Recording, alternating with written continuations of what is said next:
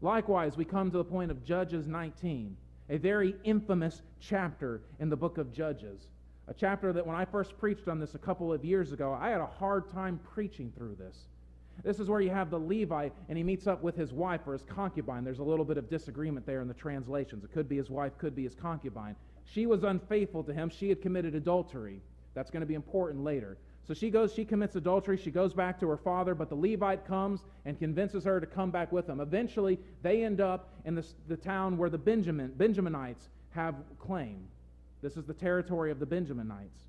And so they end up in this city here. No one's welcoming them. Eventually, though, a man welcomes them into their home. You got to remember that in those days, there were no inns, there were no hotels or anything like that. If you were traveling through a land, there was no place for you to stay except on the kindness of other people. This is why it was part of the law of God that the Israelites were to show this kindness. If you see someone coming into the land, you are to be hospitable to them. You are to offer your home to them because just as you were a sojourner in the land of Egypt, you should be kind to people traveling through your land. And so, again, at first, nobody is welcoming to the Levi and his wife or his concubine, but eventually this man does.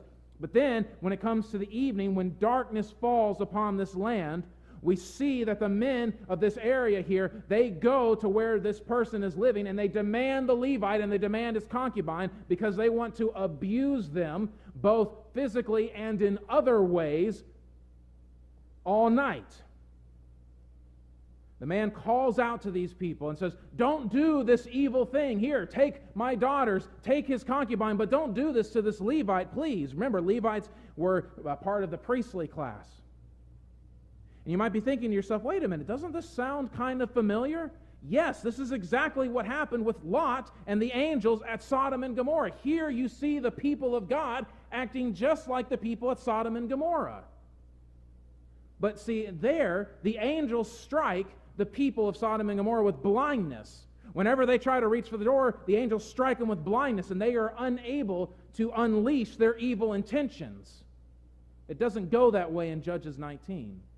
In Judges 19, we see what happens when God doesn't intervene. The man takes the Levite's concubine or his wife and throws her out to the men. And they have their way with her the rest of the night. And so this woman is humiliated and abused to death. She dies the next day. That's how evil these men were.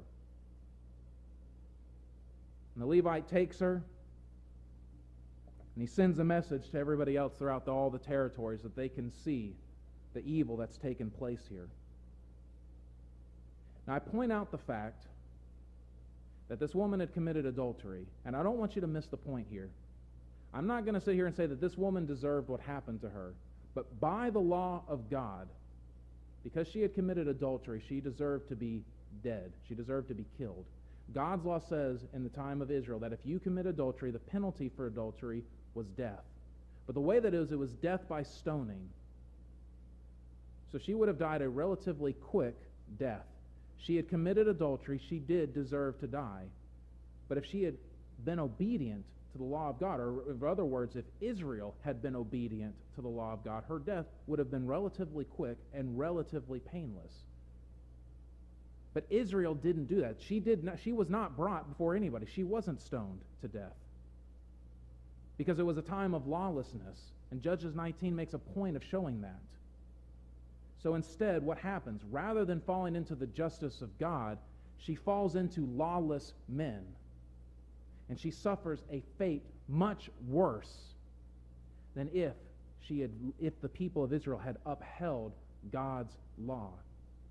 And so, the important lesson for us to learn from this, and this is a hard lesson because we don't want to hear this. Your flesh this day does not want to hear this answer.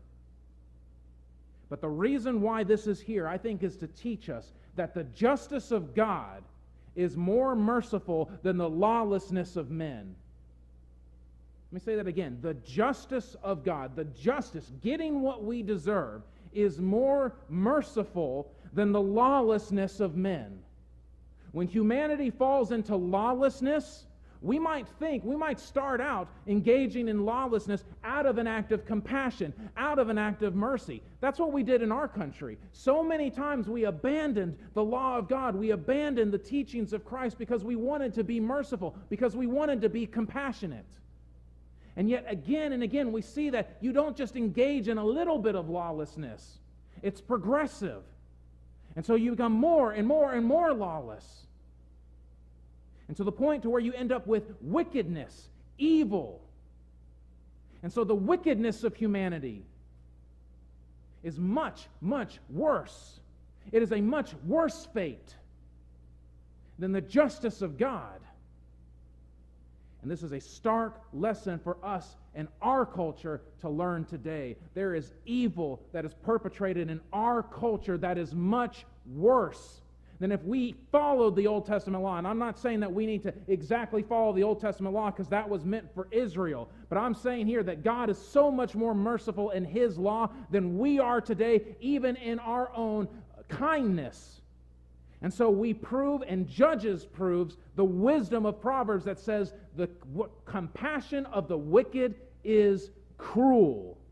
That's what the Proverbs teach. The compassion of the wicked is cruel. And that's what we see here in Judges. And that's what we see time and time again in our own culture. Rather than telling people the truth and letting them suffer a little bit with that truth, we lie to people and cause them to suffer throughout their entire life.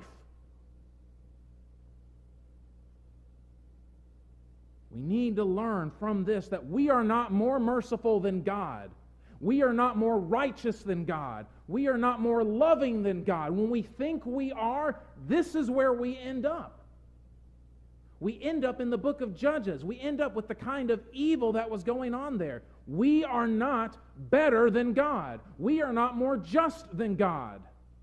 We don't have a better solution than God.